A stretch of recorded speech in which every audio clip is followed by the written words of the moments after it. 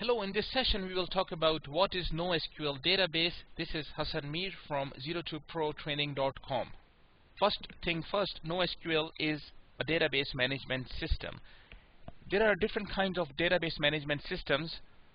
Relational database management system is the most common called RDBMS. Then we have online analytical processing systems referred to as data warehouses and then we have NoSQL database management systems. In general, database management system provides a mechanism for storing and retrieval of data. If you go back in history, first flat file systems were created and in 1970s Codd came up with a theory, relational theory, and based on that relational databases were developed. The problem was that in flat file system there was no standard of storing data and there was no standard of communicating with the data. Everybody has implemented their own protocol and that was creating lots of inefficiencies. So relational databases standardized the way we communicate with the database.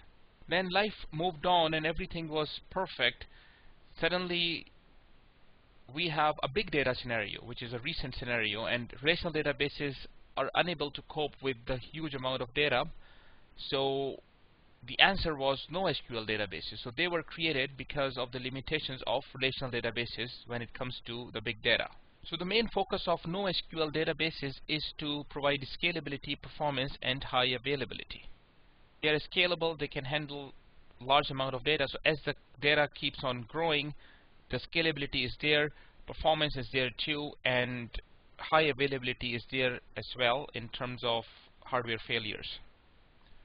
So the ability of NoSQL databases to handle a large amount of data with amazing performance comes at a compromise. They offer less functionality as compared to relational databases. And also the data is structured in relational databases and in online analytical processing systems. You have to define the table structure in advance. You have to tell the system, okay, table will have 10 columns and each column will take this data type and this would be the maximum value you can insert in a column and so on.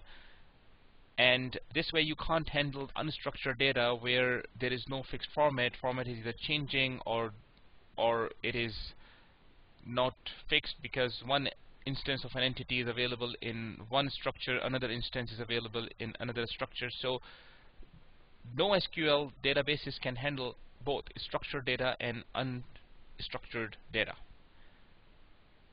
example of unstructured data would be media, audio files, video files, log files, and the blogs that people are writing, text messages, and so on. NoSQL is a category which can further be divided into three categories, key value store databases, tabular databases, and document-oriented databases. Here are some examples of each type. Memcached, Coherence, and Redis are examples of key value store kind of databases. Bigtable from Google is an example of tabular NoSQL database. Then we have HBase and Accumulo. Then in document-oriented databases, MongoDB is the most popular one. Then we have CouchDB and Cloudant. So what is missing from NoSQL databases if you compare them with relational databases? Joins is not there because of this join, relational databases are not very scalable. So in NoSQL databases, this functionality is not implemented and hence the scalability and performance comes in. The support for complex transactions is not there. You cannot do the following, for example, you can't say insert these three records, then update the two records, then check something. If it's not true, roll back everything. Okay, so transaction support is not there, and the constraint support is not there as well. So transaction support and constraint support has to be implemented at the application level. For example, you cannot say this is a null column and the value in this column has to be equal to the sum of the other two values and so on. So constraints are not implemented at the database level. Those limitations were there because the focus is to provide performance and scalability.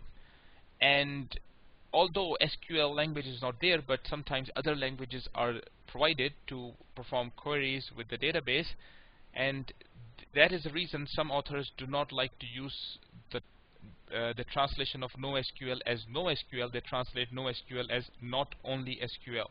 So this way they emphasize the fact that although SQL, the structured query language is not there to query the database, but some other language is there to do queries.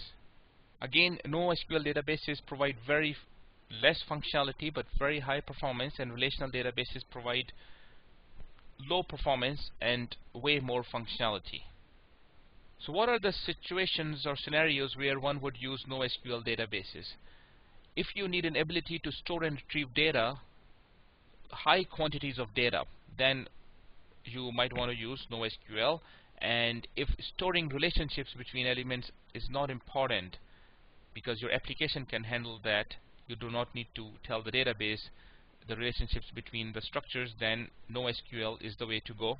And if you are in a situation where you are dealing with growing list of elements like Twitter posts, logs, blogs, etc., then NoSQL is an answer. If you are dealing with unstructured data, or if the structure of the data is changing rapidly, then NoSQL can handle this better than relational databases. For example, today you have 10 attributes in an entity, tomorrow you have 15, and so on.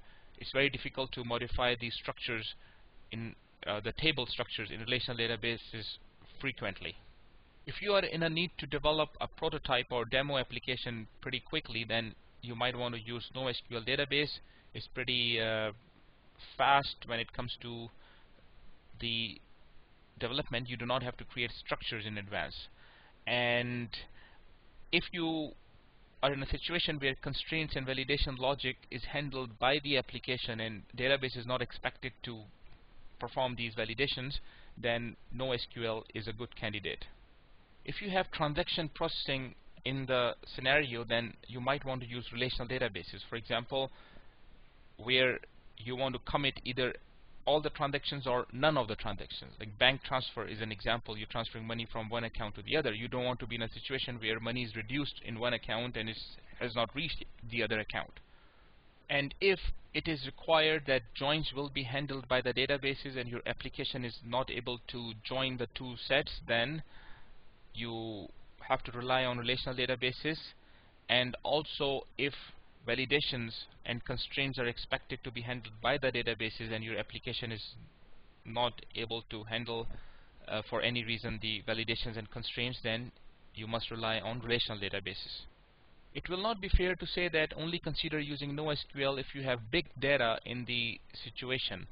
NoSQL could also be used if you have not so much big data. If you're dealing with normal data, then still NoSQL could be used because they're very easy to work with.